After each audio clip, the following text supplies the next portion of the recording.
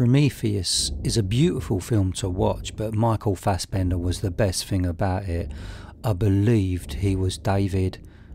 The original Alien, then Aliens, and Alien 3 are very special horror films to me. So when I heard about another Alien film is going to be released, my heart sank. That's enough now. Can't they create something different? Alien Covenant's end credits have just finished. The thousands of people involved in this film is breathtaking. So many companies, so much talent and bleeding edge technology creating a very polished looking film. But forget the incredible effort and cost putting this film together for a few minutes. You see, all that matters is the end result. Before Alien Covenant started today, I actually thought Ridley Scott's got to be too old for this job. The geezer was born in 1937. Then I reminded myself of Clint Eastwood's awesome work, and he came along in 1930 and he's still working. So now I get it. Old age means experienced and not at all frail. The pressure on making another Alien film must be exciting and absolutely insane at the same time. If this is just another Alien film effort and it's not horror perfection, I ain't interested. I'll never forget how the first three original Alien films made me feel.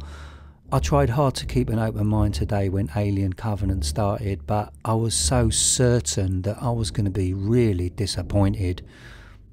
There's no doubt about how stunningly beautiful this film is. The opening scene is something the late Stanley Kubrick would have loved. And when the Alien Covenant title sequence kicked in with that familiar music, my spine was frozen. What I experienced on the big screen today was not what I expected.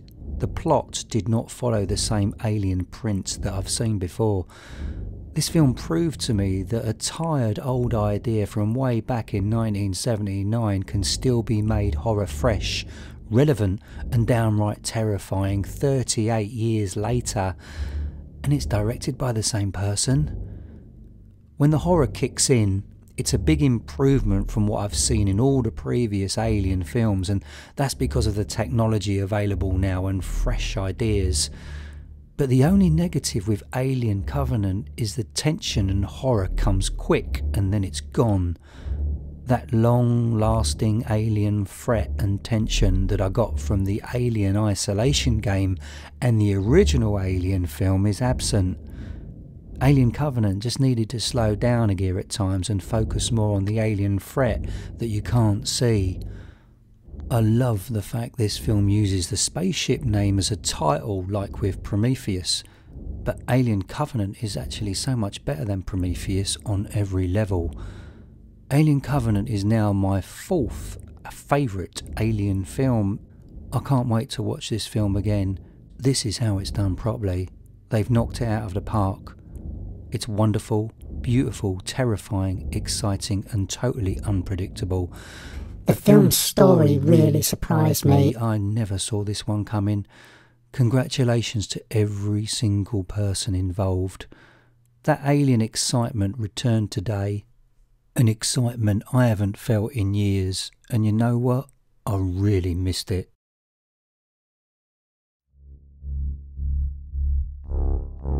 I'm Bleeding Critic. Here's an opportunity for new and existing horror talent. It's not about a competition. There's no fees.